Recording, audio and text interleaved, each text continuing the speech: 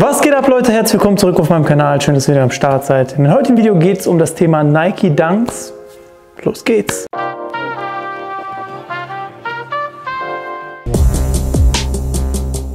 dunk, the most exciting shot in basketball.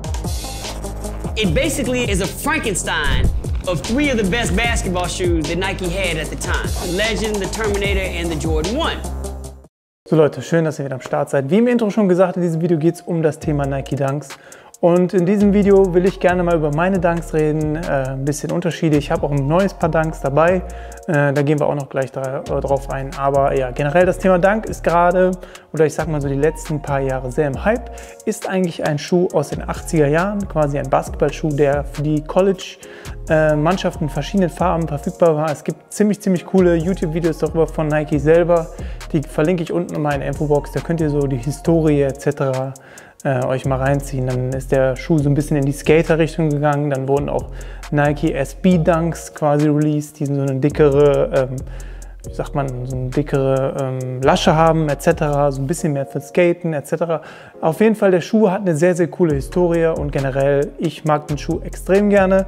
Ich habe mein erstes Paar 2016 geholt und dann eine ganze Zeit lang gar nicht getragen.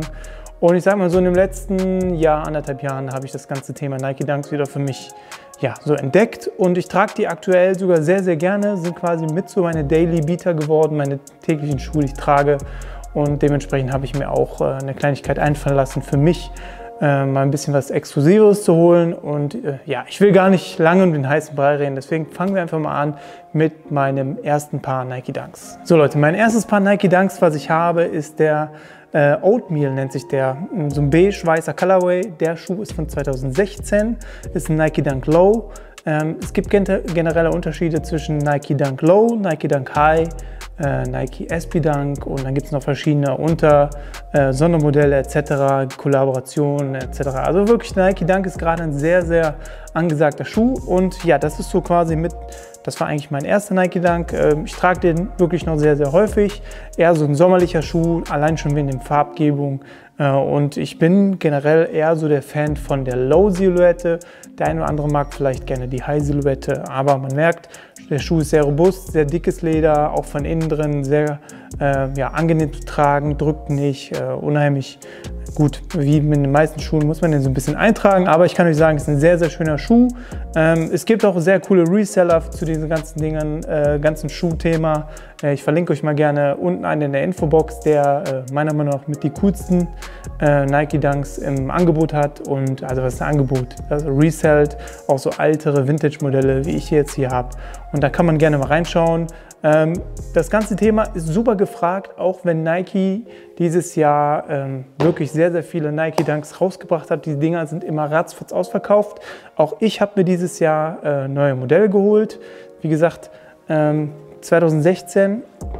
Wenn wir jetzt mal das erste Modell, was ich mir dieses Jahr geholt habe, dazu nehmen, war es das der Vast Grey, der Nike Dunk High seht ihr im ersten Moment, äh, wenn ihr die Schuhe nebeneinander stehen habt, einen riesigen Unterschied.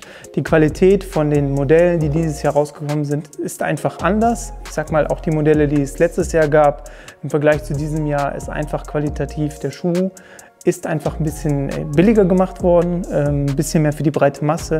Generell wäre der Schuh mal sehr hochwertig, so robust. Hier ist er sehr anfällig für Knitterigungen, also der knittert relativ schnell. Ähm, ist einfach ein bisschen anders gewählt, anders von den Materialien, ein bisschen, ich sag mal, ich würde mal sagen, ein bisschen günstiger gemacht worden. Nichtsdestotrotz super schöner Schuh und äh, man immer noch bequem etc. Aber es ist natürlich schade, dass Nike in die Richtung gegangen ist und das Ganze ähm, so ein bisschen von der Qualität gemindert hat, meiner Meinung nach. Dann bin ich wahrscheinlich auch nicht mit der Einzige, der das sagt. Wenn man die Schuhe nämlich miteinander vergleicht, ist das auf jeden Fall schon ein Erheber Qualitätsunterschied. Ähm, aber trotzdem sehr, sehr nicer Schuh und äh, ja, super exklusiv. Meistens ist es dieses Jahr äh, so, wenn die Schuhe rauskommen, wie schon gesagt, sind die relativ schnell ausverkauft. Die kosten immer so um die 100 Euro. Ähm, dann kriegt ihr die immer beim Resellern so um die 200, 250 Euro könnt ihr die auf jeden Fall äh, euch kaufen. Es gibt dieses Jahr noch ein paar Colorways, auf die ich selber auch warte. Quasi diesen Colorway nochmal Low, quasi das Pendantstück in Low. Finde ich sehr, sehr nice. Der soll auch bald äh, erscheinen. Ich habe leider noch kein genaues Release-Datum.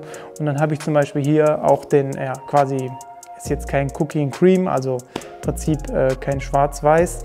Ähm, der heißt ein bisschen anders, ich glaube Panda oder sowas heißt das. Aber also wie ihr seht, ist der ganze äh, simple schwarz-weiße Schuh. Und wenn, wenn man den jetzt zum Beispiel miteinander vergleicht, man merkt wirklich, dass dementsprechend ähm, ein sehr, sehr großer Unterschied ist. Aber trotzdem, das ist so quasi auch aktuell mein Daily Beater zu schwarzen Jeans, Chinos, äh, verschiedene äh, Stilrichtungen. Kann ich den super cool kombinieren, super bequem und äh, ja, ist mir auch egal, wenn ich den runterrocke.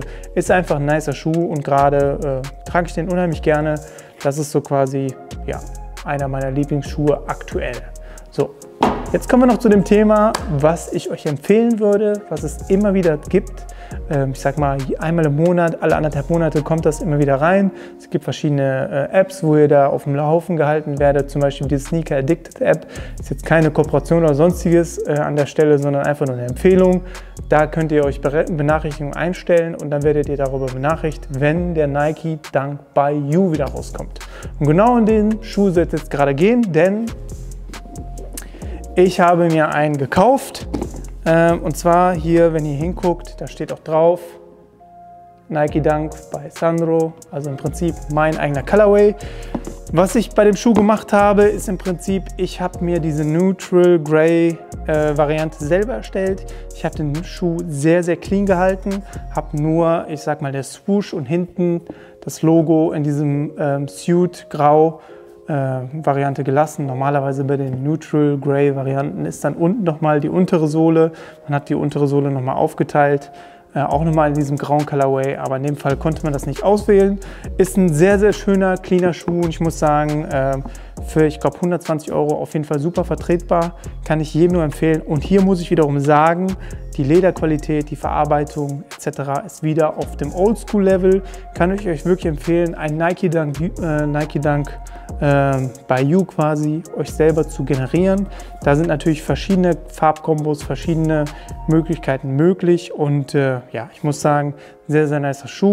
Äh, bin super zufrieden damit. Wie gesagt, dieser clean Silhouette, extrem nice. Gerade im Sommer kann ich mir den extrem gut vorstellen, mit verschiedenen Sachen zu kombinieren. Ich sag mal, weiße Sneaker sind sowieso immer im Trend, ist natürlich äh, immer sehr gefährlich, aber ich muss nicht lange darüber reden, denn jeder hat im Prinzip weiße Sneaker am Start und äh, ja, sieht auf jeden Fall sehr nice aus.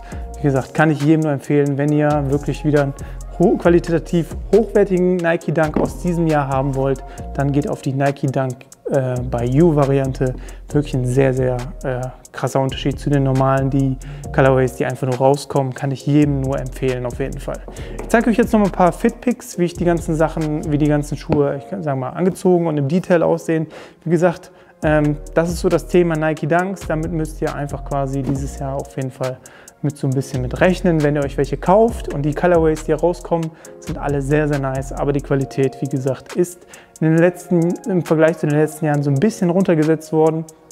Nichts Schlimmes, aber im Vergleich ist es halt einfach ein bisschen anders und äh, trotzdem ein sehr, sehr nicer, schöner Schuh. Und ich bin wirklich froh, dass ich ihn habe, denn es sind aktuell wirklich so mit meine Lieblingsschuhe, die ich aktuell gerne trage. Äh, und äh, neben den Jordans einfach so meine Nike-Silhouette, die ich ab und zu äh, immer wieder trage, wenn ich nicht, ich sag mal, auch andere Schuhe trage. Ähm, wie gesagt, jetzt noch mal ein paar äh, kleine Einblendungen, wie das Ganze fittet. Ich hoffe, hat euch das Ganze gefallen. Wie gesagt, äh, eine dicke Empfehlung, Nike Dunk by You. Ähm, generell auch die normalen Schuhe. Und wenn ihr Vintage bzw. ältere Modelle haben wollt, checkt die Seite ab. Der liebe Sneaker Dan hat sowas zum Beispiel immer am Start. Das ist wirklich eine dicke Empfehlung, soll ein cooler Dude sein und dementsprechend checkt auch seine Seite ab. Da kriegt ihr sowas äh, wirklich immer wieder geupdatet. Da müsst ihr vielleicht ihm auch auf Instagram folgen. Und äh, ja, dementsprechend, das war es an der Stelle mit dem Thema Nike Dunks bei Sandro. Peace Leute, ciao.